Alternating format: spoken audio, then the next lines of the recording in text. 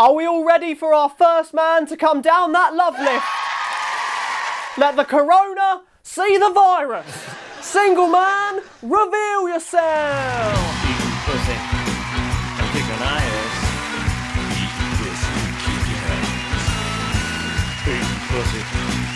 Hello, ladies. I'm Mikey, and I'm from Your Dad's Worst Nightmares. What a great start! Let me go have a chat with some of the girls. Well, there's 30 of us here and we are hard to please, aren't we? Yep, 30 of you ladies here, and yet the chances of you getting picked are still a million to one. After round one, the floor under a lot of the girls has been getting a bit soggy. But will they still like Mikey once they find out he's a bit of a dickhead? And remember, girls, turn your light off if you've had enough, but keep it on if you want him to feel your muff. Hi, ladies, I'm Mikey, and I love pretending about people's feelings so I can sleep with them. I'm a professional scumbag, according to my ex, but my actual job title is a cat burglar because I'm here to steal your pussy. My hobbies include faking bomb scares at train stations. Is that your bag? Paying the bus driver in notes, holding doors open for people who are really far away, and using a racially ambiguous accent when ordering a Chinese. Yeah, I'm not going to do that joke. the woman I want to spend the rest of my life with is much like my fridge.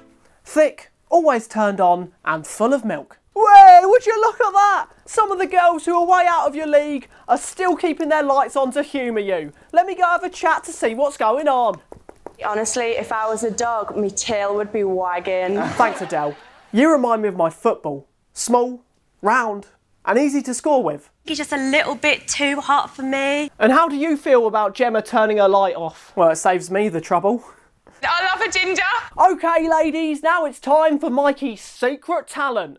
Knock 'em dead. Okay, ladies, my secret talent is I can rhyme anything you say instantly. Go on, do it right now. Abracadabra, dibbity doo. Keep my light on, and I might be the one for you. Bippity boppity fuck you. Congratulations, you've made it to the final round and a date's definitely on the cards. But now, the power's in your hands. Go turn off the lights of the girls that have the better personalities but aren't conventionally attractive. So we're down to just two girls, and now it's your chance to ask them a question. Ladies, I've been told that my genitals look like cashew nuts. What do yours look like? Mine is a monkey. Mine's a seal. Before you make up your mind, Mikey, there's something you should know.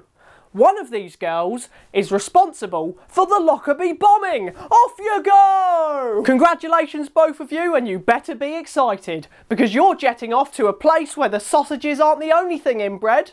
The Isle of Wight!